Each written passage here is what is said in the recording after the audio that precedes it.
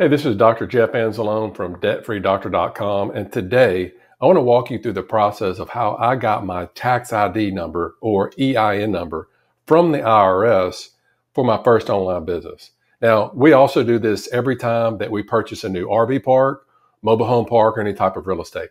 Now, this process takes just a few minutes. And once you complete it, you'll be able to use your EIN number the very same day to open up a business account.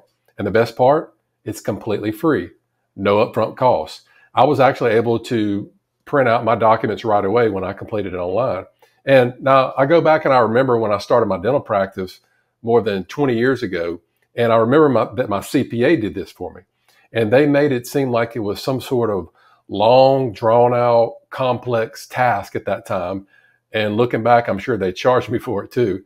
But it's not complicated at all. And I'm going to show you step by step how to do it for free. Now, remember, I'm a periodontist, not a CPA, not a tax professional, anything like this. So please don't take this as professional financial or tax advice. All right, let's get into it. How you can set up your tax ID number for free now.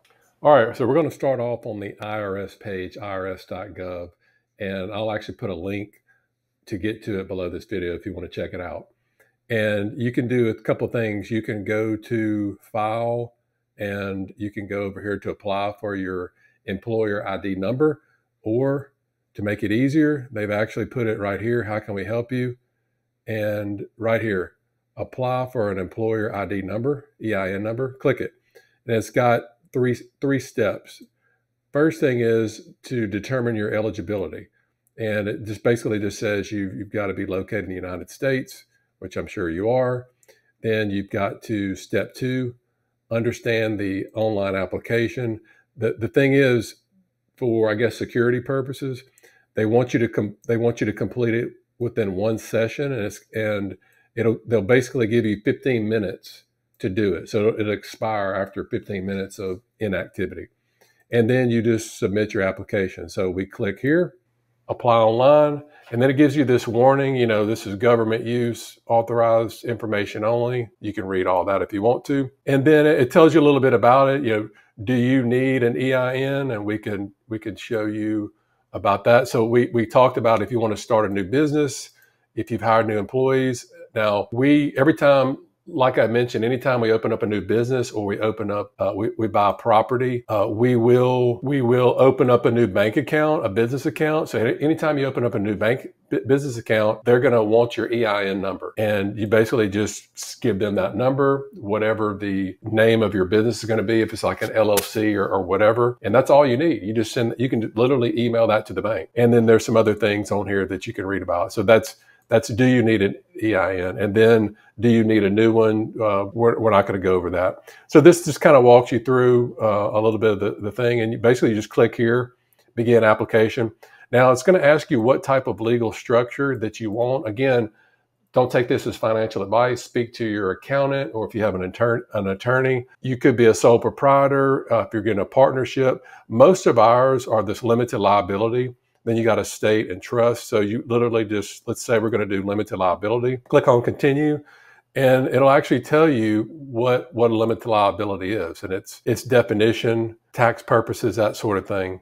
Now, if you go, oh, well, wait a minute, I, I don't want to do this. I want to do something else. Just hit the back button. And then you can go here to, let's say you're just going to be a sole proprietor. It's just going to be yourself or maybe somebody in your household with you and let's say, hey, uh, it's just going to be you. You're opening up a, a, new business, online business.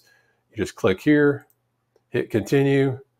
Again, it, it tells you what this is. Your business owned by you, one individual, can't be incorporated. This and that. Again, just get just get your um, attorney or CPA to talk about it. Then we're gonna then you're gonna pick the reason why you're doing this. More than likely that you started a new business. There's some other things as well, but that's that's probably going to be the the, the thing that you're going to be doing. All right, now, so from here, I'm not going to be able to, to go any further than this just because of the, the information that we'll be putting in. But you can simply go through here and put in your name, your last name, your social security number. You're going to be the one to do it. Hit continue. It's going to walk you through to, to do the address, any other details. And then at this last step, it'll give it'll it will go ahead and give you after you've completed all this, it will give you your new EIN number, and you can actually print that out. I actually just save it on my computer in a Dropbox folder, send that to the bank, and just email them and say, "Hey, look, Mr. Banker." Here's my new business net that we want to do, or here's the new LLC that holds the property Here's the EIN number. Please open up a business checking account. That's it. Takes less than 15 minutes to do. It's free and you do it at the IRS website. So again, this is this is what it takes to how you can get your tax ID number for your business for free, also called EIN number. Hope this helps. Check you in the next video.